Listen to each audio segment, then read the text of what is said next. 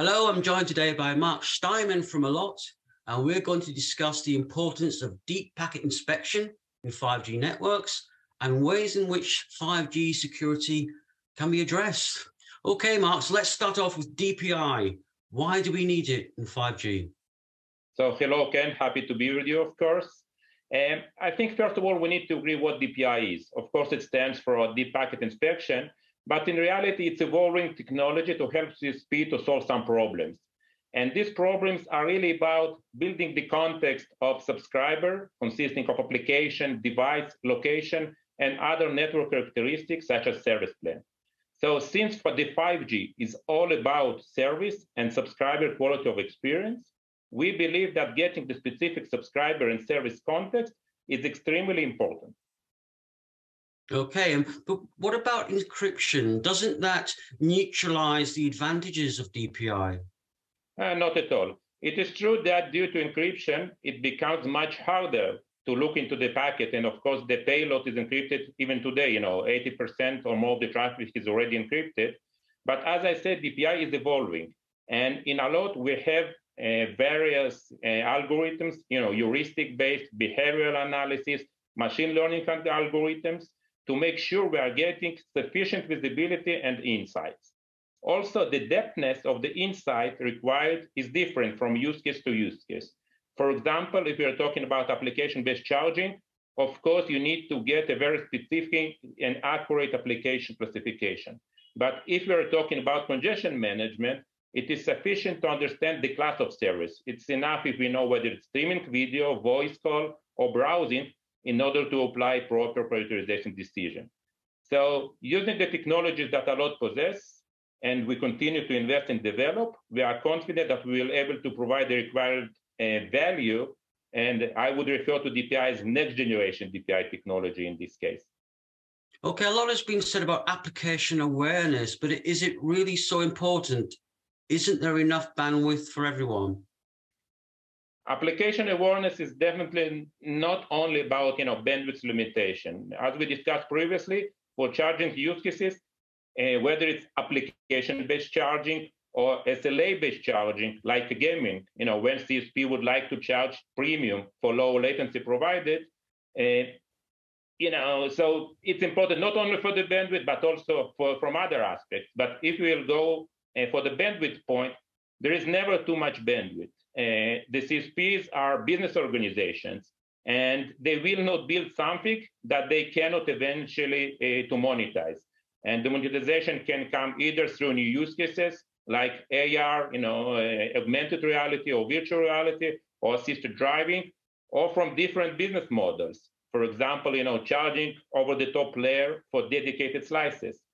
So while slicing is one of the key 5G uh, promises, within the EMBB slice, within the consumer internet slice, somebody will still need to classify different applications to understand application quality over experience in prioritized application and services, uh, you know, based on that. So while we are focusing on this um, conversation on 5G network, we need to remember, remember that in reality, 4G is still and will continue to carry till 2025 more traffic, more volume than uh, uh, 5G networks. And of course, will remain with us, you know, for many years ahead. So overall, uh, you definitely need to get, you know, subscriber application awareness. But what term DPI add latency and which might negate any value that it might bring? Uh, it's definitely true that low latency is another key promise, uh, you know, 5G architecture. And Allot specialized, it's uh, basically our know-how to introduce a minimal latency and only for the traffic of users who are utilizing or using that to another servers. So generally, we are talking about below 200 microseconds of latency, and it's only for two, three first packets of uh, user flow. Thus, in reality, uh, the legacy impact that we can uh, introduce is really neglectable. Okay. Well, a broader question now. What are the important networking trends in 5G that you see, and where is traffic management going to be important? Well, uh, we expect the volume of traffic to continue and grow, you know, 30, 40% year over year. basically doubling, you know, every two years. By the way, I think it's important to mention that uh, law is dead, and then the, the, processing power is not growing that fast. So there is definitely, you know, a need for other solutions. And on top of that, um, low latency traffic is growing. So I previously mentioned uh, gaming and augmented reality, but there is also uh, video conferencing. All these applications are requiring low latency. Another trend that we see on the market is related to the multi-cloud deployments, uh, where basically core run elements or applications can be deployed on different clouds, whether these clouds are public or private.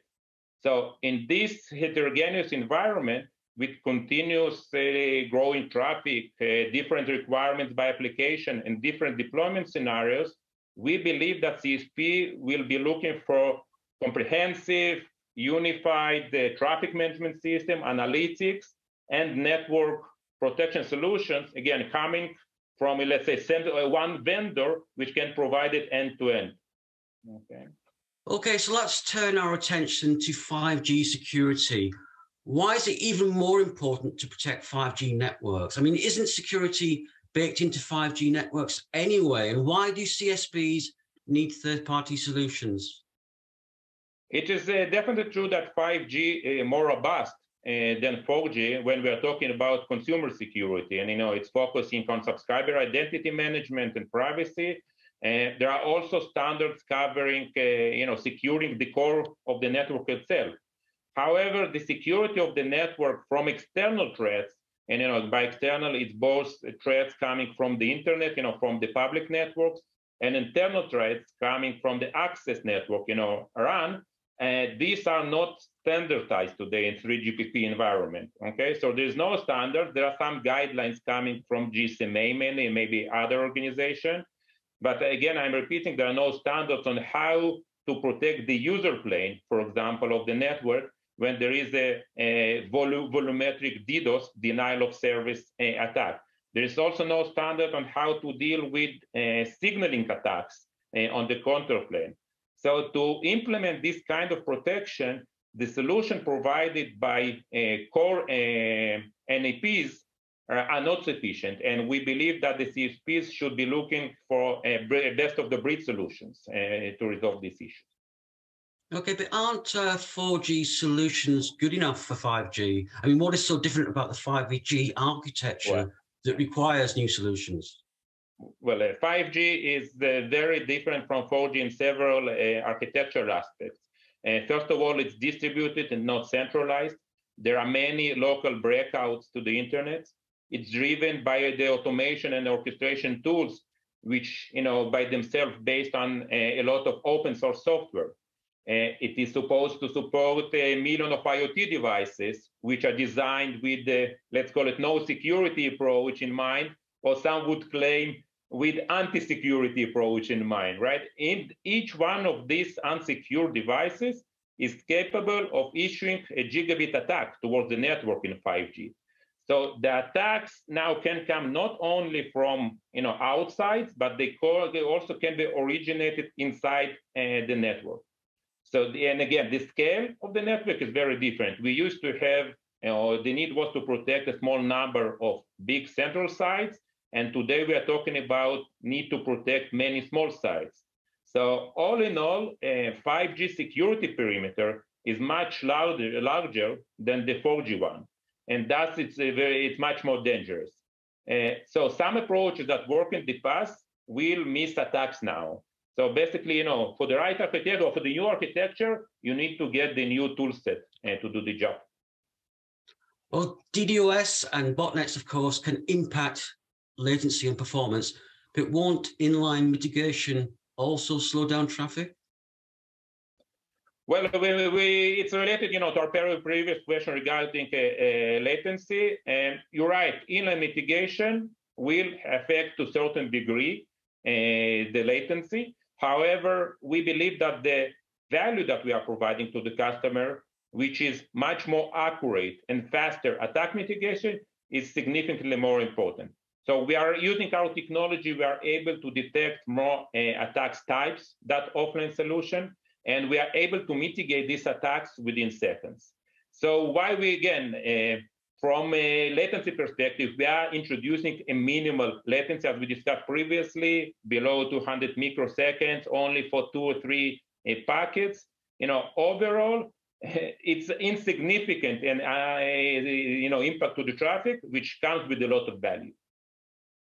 Right. Well, we've covered Allot of ground, and given that all that we've discussed, what is your view in terms of 5G? Is it more a challenge or an opportunity? So I believe uh, um, it is definitely as any new development, any new architecture, uh, 5G comes with its own uh, complexities or you know uh, topics, the challenges that need to be resolved. But uh, for a lot, uh, you know, giving the technology that we have, both in traffic management and analytics, and in security, I really believe it's a great opportunity. And you know, we are uniquely positioned in the market in order to resolve these challenges and provide the right value to the operators.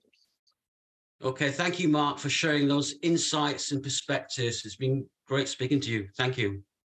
Thank you, Ken.